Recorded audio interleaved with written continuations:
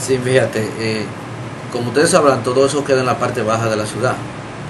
Y uno de los puntos neurálgicos que tiene el COSEPE es regular la mayoría de los negocios que existen no solamente en el casco urbano, sino en la zona rural.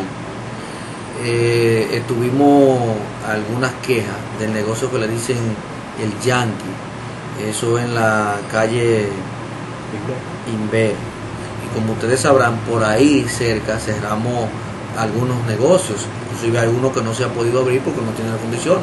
No podemos permitir que en una parte que hay como una joyería, al lado entonces nos pongan un negocio de esta naturaleza. Aparte de la denuncia que nosotros teníamos, nosotros pudimos observar que hace poco, unos, unos, cuantos días, diríamos 15 o 20 días, en ese lugar se armó una trifulca. Entonces no quisiéramos que se, no quisiera que se repitiera lo que, lo que pasó eh, hace un tiempo prudente donde hubieron dos muertos.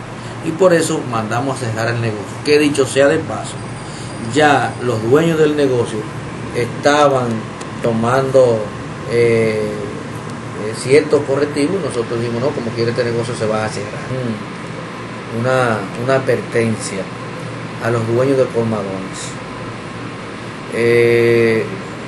Mucha gente te pone un colmado con un saco de arroz y una lata de aceite y a los dos o tres días te está vendiendo cerveza, eh, música y todo eso. Nosotros vamos a manejar esa situación porque sabemos que la población se siente eh, complacida con el trabajo que nosotros hemos venido haciendo desde esa óptica, ¿verdad? Eh, y tenemos que seguir controlando eso. Aunque ustedes no me han preguntado sobre el problemita que hubo en Milenio este fin de semana, nosotros eh, ¿Qué van a hacer con ese negocio realmente? Tenemos conocimiento. Ustedes saben que esos tres negocios que hay ahí, nosotros eh, los regulamos en función del ruido que salía antes. Pues hace poco eh, me llamó alguien de un barrio de eso que escuchó unos disparos. Que dicho sea de paso, de acuerdo a las investigaciones que he hecho, la policía provocó esos disparos hacia arriba para tratar de calmar algunas cosas pero ciertamente nosotros vamos a tomar los correctivos del lugar, específicamente en esos lugares.